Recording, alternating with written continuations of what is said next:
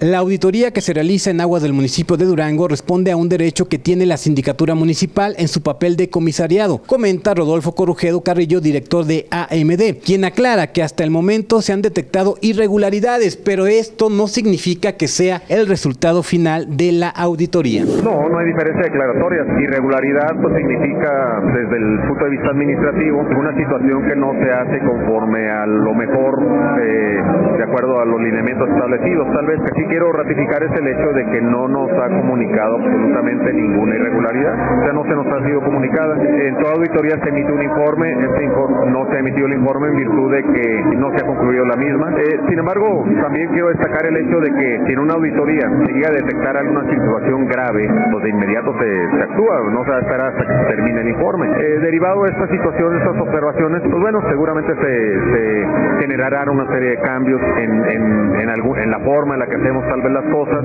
eh, se generarán tal vez algunas observaciones para algunos servidores públicos tal vez, pero bueno, me estoy adelantando, no sé, es lo que sucede en estos casos, me estoy adelantando porque pues no contamos con el informe todavía, ¿verdad? El decreto de creación del organismo establece una figura que se llama comisario. La figura de comisario eh, la ocupa en este caso la síndico municipal. Y se establece que entre las funciones del comisario es realizar en forma continua, permanente, auditoría. Eh, no se había hecho esto, nosotros en esta administración pusimos un local, una oficina, infraestructura, recursos, ¿para qué? Para que la síndico estuviera cumpliendo esta función permanentemente.